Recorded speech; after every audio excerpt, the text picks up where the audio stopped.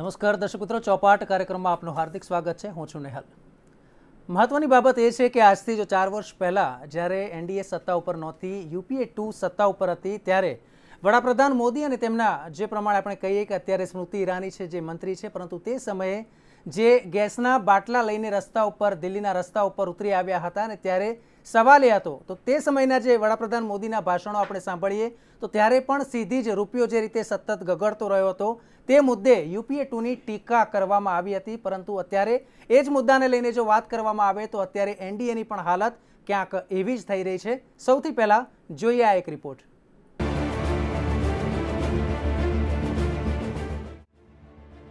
દેશમાં છેલ્લા કેટલાક મહિનાઓથી જે રીતે પેટ્રોલ, ડીઝલ અને રાંધણ ગેસના ભાવ વધી રહ્યા છે, તેનાથી જનતા હેરાન, પરેશાન થઈ ગઈ છે. તો વળી બીજી બાજુ રૂપિયો પણ સતત ગગડતો જાય છે. ત્યારે જનતા માંગ કરી રહી છે કે પેટ્રોલ, ડીઝલને જીએસટીમાં સમાવવામાં આવે કે પછી એક્સાઇઝ ઘટાડવામાં આવે. બીજું કે પેટ્રોલ, ડીઝલના ભાવ વધતા મોંઘવારીએ માજા મૂકી છે.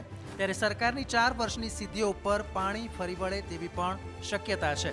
ત્યારે આગામી વિધાનસભા તેમજ લોકસભાની ચૂંટણી ઉપર પણ ભાજપને ખૂબ જ ગંભીર અસર પડી શકે છે. હાલ પેટ્રોલનો ભાવ પ્રતિ લીટર એસી રૂપિયા અને ડીઝલનો ભાવ તેનાથી લગભગ બે રૂપિયા ઓછો એટલે કે ઇઠ્યોતેરની આસપાસ મળે છે, ત્યારે ટ્રાન્સપોર્ટ સેક્ટરને પણ ગંભીર અસર પડી છે. સરકારે ગરીબ મહિલાઓને ગેસના બાટલા તો આપ્યા, પરંતુ શું આ ભાવે તે ગ્રામીણ મહિલાઓ ગેસ ભરાવી શકશે ખરા તે પણ એક સવાલ છે. ત્યારે આજે કોંગ્રેસ સહિત કુલ એકવીસ પક્ષોએ ભેગા મળીને પેટ્રોલ ડીઝલના ભાવમાં વધારો તેમજ મોંઘવારીના વિરોધમાં ભારત બંધનું એલાન આપ્યું હતું. તો કોંગ્રેસ અધ્યક્ષ રાહુલ ગાંધીની અધ્યક્ષતામાં આ બંધની જાહેરાત કરવામાં આવી હતી. ત્યારે માનસરોવરથી પરત ફરીને રાહુલ ગાંધી સક્રિય થઈ ગયા હોય તેમ લાગી રહ્યું છે અને સમર્થન માટે રસ્તા ઉપર ઉતરી આવ્યા છે. સવાલ એ પણ છે કે જો રાજસ્થાન સરકાર એક્સાઇઝ ઘટાડી શકતી હોય તો ભાજપના બીજા રાજ્યો કેમ નહીં? પણ સ્વાભાવિક વાત એ છે કે રાજસ્થાનમાં ચૂંટણીને ધ્યાનમાં લઈને આ નિર્ણય લેવાયો હોઈ શકે. કોંગ્રેસ અધ્યક્ષ સહિત તેમજ કોંગી અગ્રણીઓ રામલીલા મેદાનમાં આજે ધરણા પર બેઠા હતા, જેમાં યુપીએ ચેરપર્સન સોનિયા ગાંધી, પૂર્વ વડાપ્રધાન મનમોહનસિંહ પણ સામેલ હતા. પૂરા દેશમાં પીએમ મોદી ફરી ફરીને કહેતા હતા કે પેટ્રોલના ભાવ આકાશને આંબી રહ્યા છે, પરંતુ આજે એક શબ્દ પણ તેઓ બોલતા નથી. ત્યારે આવું જોઈએ કે એક સમયે પેટ્રોલ ડીઝલના ભાવ વધારા તેમજ ગગડતા રૂપિયા મુદ્દે યુપીએ ટુના કાર્યકાળમાં વડાપ્રધાન મોદી શું કહેતા હતા जिस प्रकार से डॉलर मजबूत होता जा रहा है रुपया कमजोर होता जा रहा है विश्व व्यापार में भारत टिक नहीं पाएगा हमारे व्यापारी जो माल बाहर भेजते हैं हमारे व्यापारी जो माल बाहर चलाते हैं इस बोझ को सह नहीं पाएंगे इवन भारत सरकार जो चीज़ें लाती है, भेजती है, उसको सहना मुश्किल हो जाएगा और दिल्ली की सरकार जवाब नहीं दे रही है कि नेपाल का रुपया कोई प्रॉब्लम नहीं है।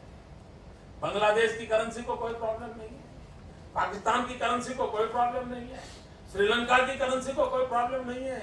हमारे अड़ोस पड़ोस में छोटे छोटे छोटे देशों को भी डॉलर के मुकाबले में कोई नुकसान नहीं हो रहा है। देश जानना चाहता है। प्रधानमंत्री जी, ऐसा क्या कारण है कि आज अकेला हिंदुस्तान का रुपया डॉलर के मुकाबले गिरता ही चला गया, गिरता ही चला गया और क्यों चला गया? और मैंने साफ़ मांग की है, ये सिर्फ़ आर्थिक कारणों से नहीं हुआ है, ये आपकी भ्रष्ट राजनीति जो चली है दिल्ली से, उसका इसके अंदर बहुत बड़ा रोल है। ત્યારે આજે આ મુદ્દે રાહુલ ગાંધી અને વડાપ્રધાન મનમોહન સિંહે પણ એનડીએ સરકાર પર શાબ્દિક પ્રહારો કર્યા હતા. Bureau report, Mantavya News.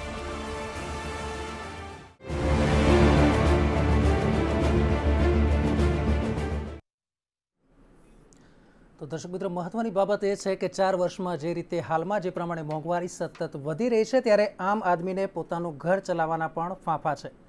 બીજી મહત્વની બાબત એટલી છે કે બેરોજગારી મુદ્દે પણ જો વાત કરવામાં આવે તો રોજગારી વધતી નથી. સ્કિલ ઇન્ડિયાના જે દાવા છે તે પણ સફળ દેખાતા નથી. ત્યારે ભારતીય જનતા પાર્ટી માટે અત્યારે કહી શકાય કે આ ચાર વર્ષમાં સૌથી કપરો કાળ છે. ત્યારે આ જ મુદ્દા પર આજે આપણે ચર્ચા કરવી છે આ ચોપાટ કાર્યક્રમમાં અને ચર્ચામાં ભાગ લેવા માટે આપણી સાથે જોડાઈ ગયા છે ભારતીય જનતા પાર્ટીના નેતા ભૂષણ ભટ્ટ. ભૂષણભાઈ, આપનું હાર્દિક સ્વાગત છે. સાથે જ કોંગ્રેસના નેતા હેમાંગ રાવલ પણ આપણી સાથે છે. હેમાંગભાઈ, આપનું હાર્દિક સ્વાગત. અને રાજકીય વિશ્લેષક જાણીતા પત્રકાર એવા સુધીરભાઈ રાવલ આપણી સાથે છે. સુધીરભાઈ, આપનું ખૂબ ખૂબ સ્વાગત.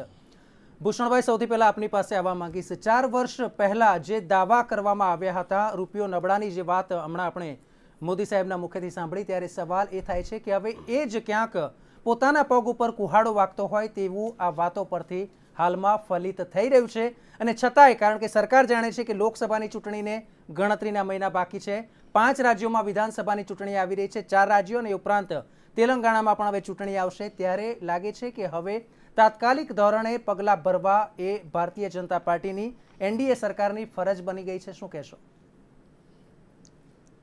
ભૂષણભાઈ. ગ્રહણ આવે. સમયમાં ગ્રહણ આવ્યું ઓકે. જે રીતે તમે વાત કરી કે જે રીતે રિપોર્ટ જોયો.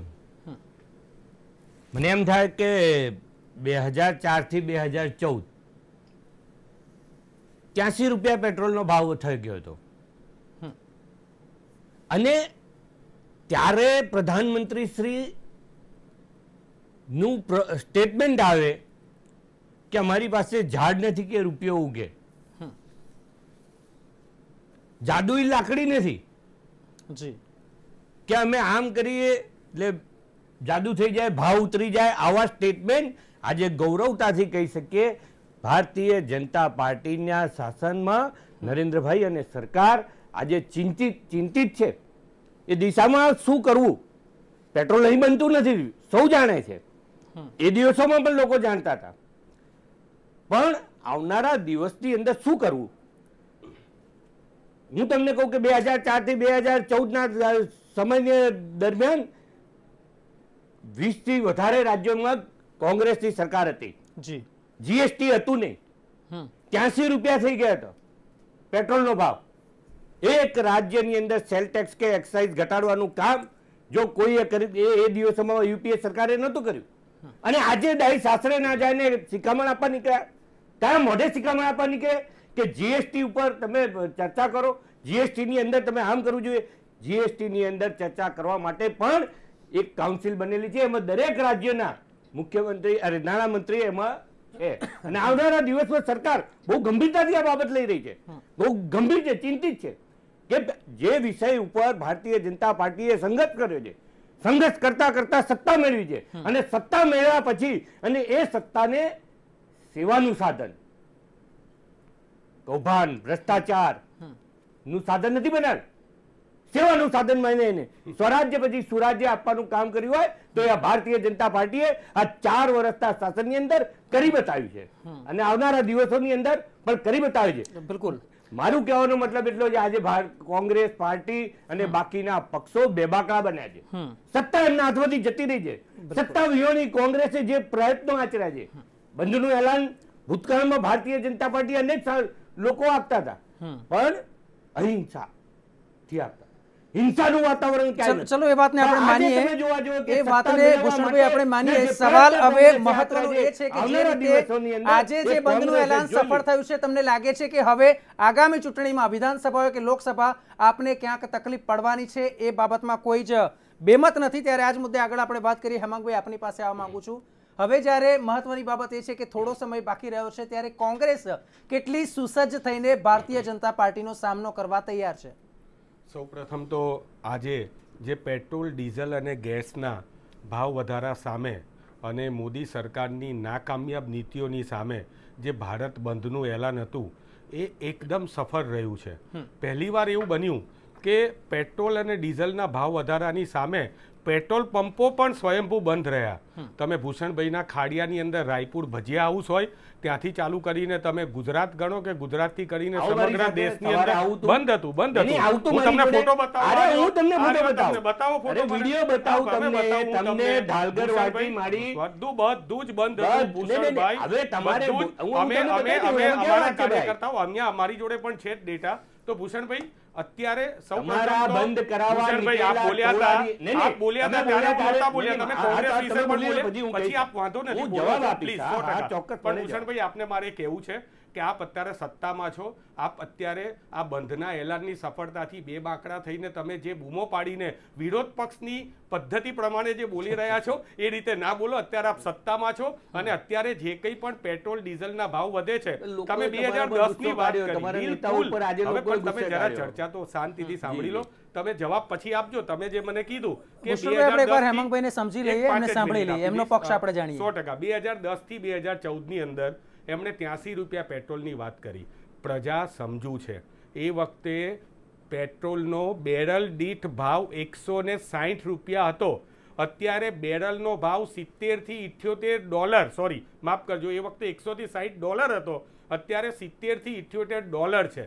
જ્યારે સિત્તેરથી ઇઠ્યોતેર ડોલર હોય, ત્યારે આટલો બધો પંચ્યાસી ને એંસી રૂપિયા અને નેવું રૂપિયા સુધી જ્યારે જઈ રહ્યો છે પેટ્રોલનો, ડીઝલનો ભાવ ત્યારે આ જે ભારત બંધનું એલાન આપ્યું હતું. એને પ્રજાએ સપોર્ટ આપ્યો છે. તમને હું વાત કરું ભૂષણભાઈ એક્સાઇઝની વાત કરી. તો બે હજાર ચૌદમાં એક્સાઇઝ ડ્યુટી માત્ર ત્રણ રૂપિયાને છેતાલીસ પૈસા હતી. અને અત્યારે સત્તર રૂપિયાથી વીસ રૂપિયા જેટલી એક્સાઇઝ ડ્યુટી જ્યારે કરવામાં આવી છે, ત્યારે તમે સમજી શકો છો કે પેટ્રોલના ભાવ જે છે, તમે આંકડા ઉપર વાત કરો. તમે ઓગણચાલીસ રૂપિયા ડીલરની પડતર છે. મુંબઈમાં સિત્યાસી, ઇઠ્યાસી રૂપિયા જ્યારે ભાવ થઈ ગયો, ત્યારે ચાર રૂપિયા કમિશન, વીસ રૂપિયા સેન્ટ્રલ એક્સાઇઝ, સત્તર રૂપિયા વેટ, એમ થઈને ગુજરાતની અંદર પણ એસી બ્યાસીએ જ્યારે પેટ્રોલ પહોંચી ગયું છે, ત્યારે જનતા ત્રાહિયામ થઈ ગઈ છે. હું એક નાની વાત કહું છું. મોંઘવારી કઈ સ્થિતિએ પહોંચી ગઈ છે? ગરીબોના ઘરમાં ચૂલો જલવા માટે થઈને એવી હાલત થઈ ગઈ છે. અધૂરામાં પૂરું પેટ્રોલ અને કેરોસીન મોંઘું થઈ ગયું છે. આમને એની ચિંતા જ નથી. એક તરફ જીએસટીનું નીચે જવું અને બીજી તરફ મોંઘવારીનું વધવું. મોંઘવારી પણ એ રીતે વધે છે કે દિલ્હીની સરકારને એની કોઈ ચિંતા નથી. હવે તો છેલ્લા એક વર્ષથી મોંઘવારીના વિષયમાં બોલવાનું પણ બંધ કરી દીધું છે. દેશમાં પેટ્રોલના ભાવ વધ્યા એ દિલ્હી સરકારનું શાસન ચલાવવાની નાકામીનો જીવતો જાગતો સબૂત છે. પેટ્રોલનો ભાવ વધારો પાછો ખેંચવો જ પડે. ભૂષણભાઈ આ હું નથી બોલ્યો આ નરેન્દ્ર મોદી બોલ્યા છે. ઓકે ચલો આજ મુદ્દા પર આપણે રાજકીય. વિશ્લેષકની શું રાય છે તે પણ આપણે જાણવાનો પ્રયાસ કરીએ. સુધીરભાઈ આપની પાસે આવવા માંગુ છું. મહત્વની બાબત એ છે કે હંમેશા લોકો કહેતા હોય છે કે વડાપ્રધાન મોદી છે તે નિયમિત મન કી બાત કહે છે પરંતુ લોકોના મનની વાત સમજતા નથી. શું કહેશો? લોકોના મનની વાત આજે રસ્તા ઉપર જોવા મળી છે આખા દેશને. એટલે એક વસ્તુ એ તો સમજાય એવી છે કે લોકોના મનની વાત શું છે? આપણે રાજકીય રીતે દાખલા ન જોઈએ. આ બંધનું એલાન હતું. એમાં મારી વાત કરતા પહેલાં હું એક ટિપ્પણી કરી દઉં કે આ બંધ જો કોઈ પણ રીતે હિંસક થાય તો એ તો ચલાવી ન લેવાય. બિલકુલ. બંધની એક પદ્ધતિ હોય. પણ આ સિલસિલો ઓગણીસો ચુમ્મોતેરથી ચાલુ થયો છે. આજે જે સત્તામાં છે એ લોકો એ વખતે તોફાન રસ્તા પર કરતા હતા. અને આ જે જે એ આજે તોફાન કરે છે. એટલે એ બંને પક્ષને એમાં સરખા જ જવાબદાર ઠેરવી શકાય છે. અને એ બંને ખોટી પદ્ધતિ છે. એનો લોકો ભોગવો છે. જ્યારે સરકારી સંપત્તિ નુકસાન થાય એ મને નથી લાગતું. પણ એ લોકો માટે એક લોકોને જોડવા જાગૃતિ લાવવા કે ઉશ્કેરવા માટેની આ એક પદ્ધતિ હશે. એ દાખલ થઈ ગઈ છે આપણા રાજકારણમાં અનફોર્ચ્યુનેટલી પણ વોટ એવર પણ આપણે જ્યારે હવે કોંગ્રેસ ને ભાજપ ગમે કે હું તમને વાસ્તવિક આંકડાઓ ન કરું આંકડાઓ હોય એટલે ભારત સરકાર હોય કોંગ્રેસે પણ એ બોલવા પડે ને ભાજપે એ બોલવા પડે તમારે મારે તે એના જ અનુસરવું પડે. બિલકુલ. હું બે ત્રણ બાબતો ઉપર ધ્યાન દોરું હું આંકડા થોડાક આઉટલાઈન કરી લાવ્યો છું. પ્લીઝ. કેટલાક આંકડા આમણે જે કીધા એ જુદી રીતના છે પણ હું તમને કહું કે જ્યારે બે હજાર સોળમી મે ભારત સરકાર બદલાણીનો જનાદેશ આવ્યો છવ્વીસ મે નરેન્દ્રભાઈએ નવા વડાપ્રધાન તરીકે શપથ શપથ લીધા, જી. આપણે છવ્વીસમી મે થી આજ સુધી એટલે સોળમી મે સમજો ને બેન્ડેટ આવી ગયો તો ત્યારથી આજ સુધીની જ ખાલી હું તમને વાત કરું છું કે શું હતું ને આંકડા. આમાં રાજકીય વાત નથી. ઓકે. જો પેટ્રોલ અને ડીઝલની વાત કરીએ તો બે હજાર ચૌદથી આજ સુધીમાં સેન્ટ્રલ એક્સાઇઝ ડ્યુટી બાર વખત વધી છે. ઓકે. એમાં પેટ્રોલ ઉપરની એક્સાઇઝ ડ્યુટી જે હતી એમાં બસો અગિયાર ટકાનો વધારો થયો છે અને ડીઝલ ઉપર ચારસો તેત્રીસ ટકાનો વધારો થયો છે. એમાં ક્યાંક ઇન્ડાયરેક્ટ કસ્ટમ ડ્યુટી થઈ જુદી પાછી. અચ્છા આ ડ્યુટી જો ન વધારવામાં આવી હોત તો આજે ડીઝલ અને પેટ્રોલની અંદર જે ભાવ છે એમાં દસથી પંદર રૂપિયાનો ઘટાડો થઈ શકે. આ એક અંદાજ છે. હવે બીજી વાત. મારી પાસે એકચ્યુઅલી આ બધાના વર્ષવાર આંકડા છે. પણ એ બહુ લાંબી વાત છે. એટલે હું તમને એવરેજ બીજું ક્રૂડ ઓઇલના ભાવ અમારા હાથમાં નથી ને એના કારણે વધે છે એવી વાત લોકોય માને છે ને લોકો આજ સુધી રાજકીય પક્ષો કરતા ચાલુ છે. હું તમને એના આંકડાની વાત કરું. ક્રૂડ ઓઇલના ભાવ એ જ સોળમી મે ની વાત કરું ત્યારે બે હજાર ચૌદમાં સરકાર બદલાણી. ત્યારે જે હતા એનાથી ચાલીસ ટકા ઓછા થયા છે. ચાલીસ ટકા એક હું રાઉન્ડ ફિગર કહું છું. પણ એક્ઝેક્ટ તમને કહું બે હજાર ચૌદમાં આંતરરાષ્ટ્રીય બજારની અંદર જે કાચું તેલ જેને કહેવાય ક્રૂડ ઓઇલ ક્રૂડ ઓઇલ. એનો યુએસ ડોલર એકસો સાત પોઈન્ટ જીરો નવ પ્રતિ બેરલ ભાવ હતો. બિલકુલ. અને આજે તોતેર યુએસ ડોલર પ્રતિ બેરલ ભાવ છે એટલે લગભગ ચાલીસ ટકા ઓછું થાય છે. બરાબર આ ઓછી હોવા છતાંય ભાવ વધ્યા છે. આખો બીજો વિષય થઈ ગયો. આ આ એક ક્લેરિટી પંચાવન ટકા જેટલો ઓછો ભાવ થયો કહેવાય મારી દ્રષ્ટિએ. ઓકે ઓગણત્રીસ દેશોને ભારત સરકાર પેટ્રોલ ને ડીઝલ ભારત કરતા ઓછા ભાવે આપે છે. આપણે એક્સપોર્ટ કરીએ છીએ. ઇમ્પોર્ટ કરેલું ક્રૂડ ઓઇલ આપણે એક્સપોર્ટ કરીએ આપણે ઇમ્પોર્ટ કરીને પછી એક્સપોર્ટ કરીએ છીએ. એટલે એમાં છે ને 80 થી 89 એટલે પ્રતિ અને તે દેશોમાં પણ ભાવ. આપણા કરતા ઓછા છે. પણ હા એટલે વિદેશની અંદર જે ચોત્રીસ રૂપિયા પ્રતિ લિટર પંદર દેશોને આપણે આપીએ છીએ અને સાડત્રીસ દેશોને અ, અરે ઓગણત્રીસ દેશોને સાડત્રીસ રૂપિયા. આ એક ત્રીજો મુદ્દો. અચ્છા બે નાના મુદ્દા કહું. આ વસ્તુ અલગ છે પણ એક્સાઇઝ ઉપરાંત મુદ્દો એ છે કે આ એક્સાઇઝના કલેક્શનના કારણે અગિયાર લાખ કરોડ રૂપિયા સરકારે ફેરવી લીધા છે. માની લો કે કાશ્મીર પર લડાઈ કરવા માટે સરકાર ભલે લોકો બૂમ પાડે ને પૈસા જોતા રાત્રે એવી કોઈ રણનીતિ હોય અને જીતવાની વાત હોય જાહેર ન કરી શકાય એવી વાત હોય બે નંબરની વાત દાખલા તરીકે.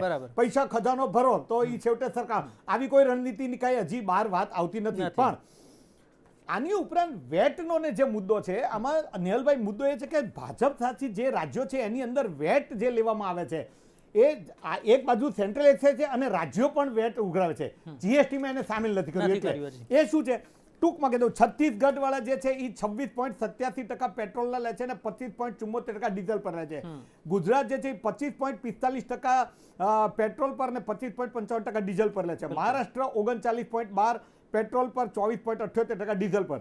રાજસ્થાન ત્રીસ પોઈન્ટ એસી અને ચોવીસ પોઈન્ટ નવ. એણે આજે ચાર ટકા ઘટાડે છે આ પ્રેશર એની સારી વાત છે. મધ્યપ્રદેશ પાંત્રીસ પોઈન્ટ અઠ્યોતેર ટકા અને ત્રેવીસ પોઈન્ટ બે અનુક્રમે પેટ્રોલ ડીઝલ પર જુદો વેટ લે છે. ઝારખંડ તે એવી રીતના પચીસ પોઈન્ટ બોતેર ટકા ત્રેવીસ પોઈન્ટ એકવીસ ટકા.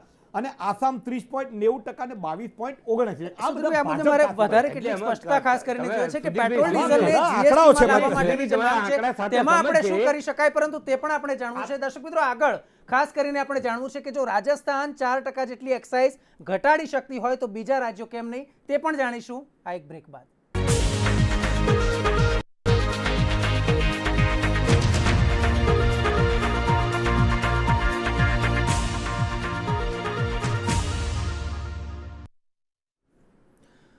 બાદ આપનું સ્વાગત છે. જે પ્રમાણે ચોપાટમાં આપણે ચર્ચા કરી રહ્યા છે. મહત્વપૂર્ણ બાબત એ છે કે પ્રજા અત્યારે મોંઘવારીનો માર સહન કરી રહી છે. ગેસના બાટલાના ભાવ હોય કે પછી પેટ્રોલ, ડીઝલના, પરંતુ પ્રત્યેક વ્યક્તિ વિચારે છે કે કામ બહાર ક્યાંય જઈ શકાય તેવી સ્થિતિ હાલમાં નથી. ફરી એકવાર આપણે ચર્ચાનો દોર છે તે આગળ વધારે. આજ મુદ્દે ભૂષણભાઈ પાસે આપણે જઈશું. ભૂષણભાઈ, આપની પાસે આવવું છે. ખાસ મહત્વની બાબત એ છે કે ભારતીય જનતા પાર્ટી હવે ક્યાંક એકવીસ જેટલા પક્ષો એક થઈ ગયા છે. સામે ભારતીય જનતા પાર્ટી એક થઈ ગઈ છે. હવે સવાલ એ છે કે શું લાગે છે કે આ જે મહાગઠબંધન છે, તેનો જે કિલ્લેબંધી છે તેને તોડવું હશે? તો ક્યાંક પ્રજાને રાહત આપવી પડશે? કારણ કે આફ્ટર ઓલ પ્રજાના જે મત છે તેના આધારે જ આવતા પાંચ વર્ષનું પ્લાનિંગ આપણે કરી શકીએ તેમ છે. તમે એકવીસ ગઠબંધન એકવીસ પાર્ટીઓની એકવીસ મહાગઠબંધનની વાત કરી કે ભાઈ એકવીસ પાર્ટીઓ. આજે સ્ટેજ ઉપર કેટલી પાર્ટી હતી? બાર કે ચૌદ. જી. અને એ બાર કે ચૌદ પાર્ટીઓમાં બોલવાની તક તમે શેડ્યુલ જુઓ. ઓકે. એ એમનો વિષય છે મારે નથી બોલવું. મહાગઠબંધનનો વિષય છે. પરિણામ શું આવ્યું કે આદરણીય સોનિયા ગાંધીજીએ ઉઠીને જવું પડ્યું. દેશની જનતાએ ટીવીમાં જોયું. ઠીક છે એમનો વિષય છે. કહેવાનો મારો મતલબ એટલો છે કે આવનારા દિવસોની અંદર તમે જે કહો છો કે એકવીસ મહાગઠબંધન. મહાગઠબંધનની અંદર ભારતીય જનતા પાર્ટી એક સમય એવો હતો કે કોંગ્રેસ પાર્ટીની સામે બધી પાર્ટીઓ હતી. જી. સવાસો વર્ષ જૂની કોંગ્રેસ પાર્ટી આજે પચીસ વર્ષના હાર્દિકનો સહારો લેવો પડે ત્રીસ વર્ષના અલ્પેશ ઠાકોરનો સહારો લેવો પડે પાંત્રીસ સાડત્રીસ પચીસ ત્રીસ વર્ષના જિજ્ઞેશ મેવાણીનો સહારો લેવો પડે. આના જેવી શરમજનક ઘટના ગુજરાતમાં કોઈ નથી.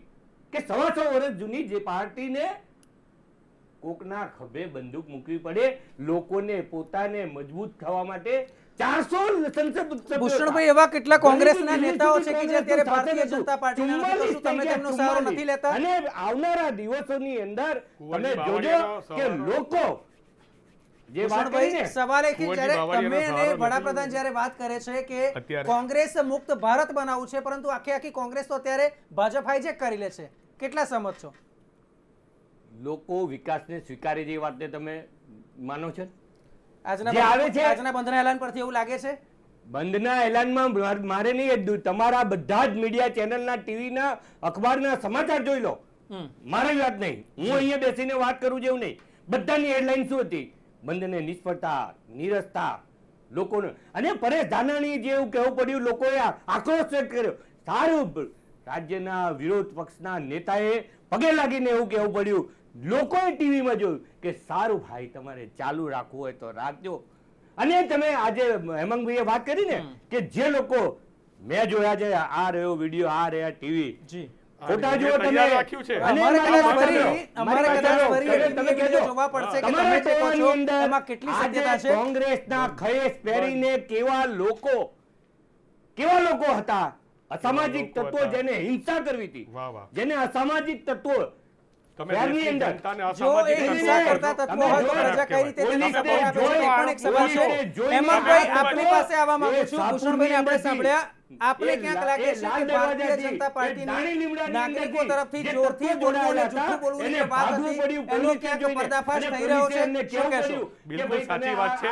પહેલા તો ભૂષણભાઈ જો બોલવાનું બંધ કરે. ભૂષણભાઈ, હવે આપણે હેમાંગભાઈને સાંભળીએ. સૌ ભૂષણભાઈ, પ્રથમ હેમાંગભાઈને આપણે તો સાંભળીએ. સૌ પ્રથમ તો જ્યારે કોંગ્રેસની સરકાર હતી બે હજાર ચારથી બે હજાર ચૌદ દરમિયાન ત્યારે ઓગણીસ વખત ભારત બંધનું એલાન આપ્યું હતું. અને એ વખતે ભારત બંધ કરાવનારા ગુંડાઓ નહોતા. એ વખતે અહીંયા તો અમારા વિરોધ પક્ષના નેતા ને. અમારા વિરોધ પક્ષના નેતા એ અમે લોકો લાકડીઓને દાદાગીરીથી બંધ કરાવવા નથી નીકળ્યા. અમે બે હાથ જોડીને કહીએ છીએ કે અમે પ્રજા માટે બંધનું એલાન આપ્યું છે અને આ બંધ કરો અને અમરેલી જડબે સલાક બંધ રહ્યું છે. બીજી વાત લોકો ટીવી બીજી વાત આનેથી વધારે કોંગ્રેસની સરકાર હતી ત્યારે કોંગ્રેસની સરકાર વિરોધીઓને દબાવતી નહોતી. આગલે દિવસે સરમુખતા જેમ કોંગ્રેસના નેતાઓને નજરબંધ કરવામાં આવે છે અને ઘરની બહાર નીકળે એટલે ધરપકડ વોડી લેવામાં આવે છે. આવી સ્થિતિની અંદર પણ બંધ સફળ રહ્યું. એક જમાનામાં કોંગ્રેસની સરકાર હતી ભૂષણભાઈ. ત્યારે અશોકભાઈ ભટ્ટ આપના પૂજ્ય પિતાશ્રી હતા. એમના માટે અમે વિધાનસભાની સામે સામિયાળો બાંધી આપતા હતા. વિરોધ કરવા માટે. અને આજે તમે સરમુખતાશાહી કરીને અમાનુષી વર્તન જ્યારે કરી રહ્યા છો, ત્યારે પ્રજા બે હજાર ઓગણીસમાં જવાબ તો આપશે જ પરંતુ એક વસ્તુ મારે અત્યારે આપણે ખાસ કહેવી છે કે તમે સોશિયલ મીડિયાની અંદર આજે તમે જુઓ તો ભારત બંધ અને મહેંગી પડી મોંઘી સરકાર. આ બે જે ટેગ છે એ ટેગ એ સોશિયલ મીડિયામાં ત્રણ લાખથી પણ વધારે રીટ્વીટ થયા. ભારતમાં નંબર વન રહ્યા અને વિશ્વની અંદર ટોપ દસની અંદર જ્યારે આ ટ્રેન્ડ આવેલા છે ત્યારે તમે જ્યારે ભારત બંધને ગુંડાઓ અને આવા પ્રકારના તમે વાત કરો છો ત્યારે તમે પ્રજાનું અપમાન કરો છો. અપમાન પ્રજાનું અપમાન કરી રહ્યા છો. અને પ્રજાને તમે તમે પ્રજાને ગુંડા કીધો છે. તમે પ્રજા સાથે દાણી બંધ કરે છે. તમે પ્રજાને બંધ કરો તમે જે લોકો નીકળ્યા હતા એને- રહ્યા છે, સ્વયં બંધ રહ્યા છે.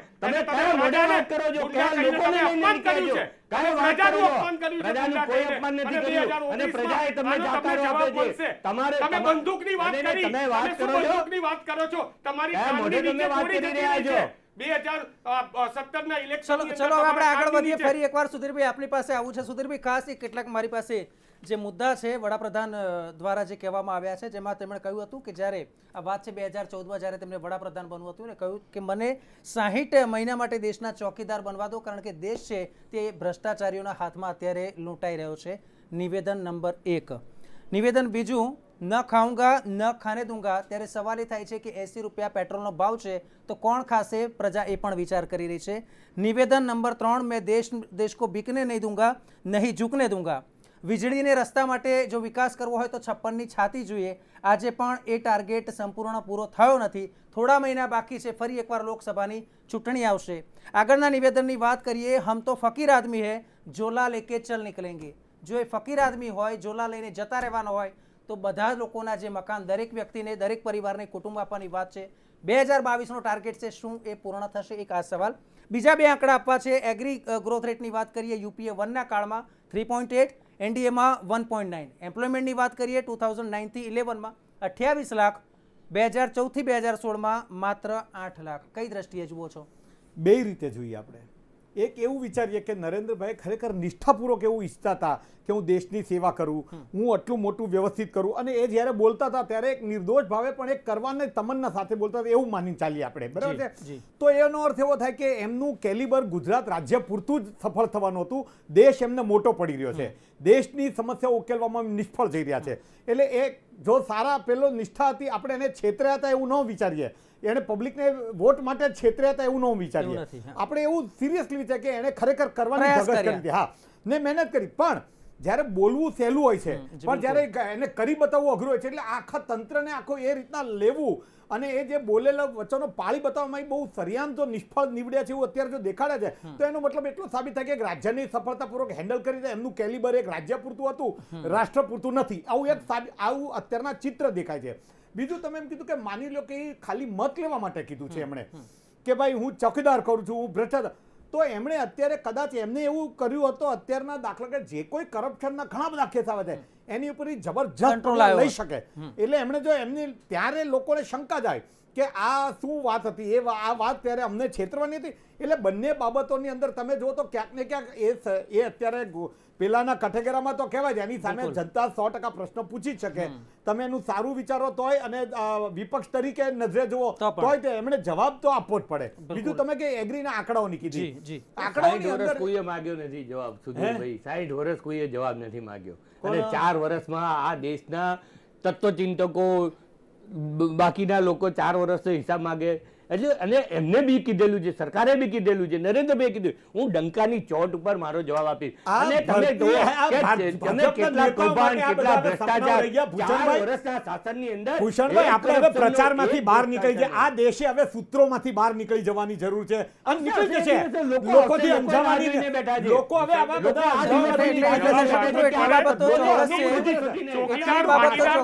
કારણ કે જે વાસ્તવિકતા પ્રમાણે કહેવાય છે કે ભારતીય જનતા પાર્ટી છે. એક માર્કેટિંગની છબી ધરાવે છે. વાસ્તવિકતા એ માર્કેટિંગમાંથી પણ ભારતીય જનતા પાર્ટીએ બહાર આવવાની એટલી જ જરૂરિયાત છે.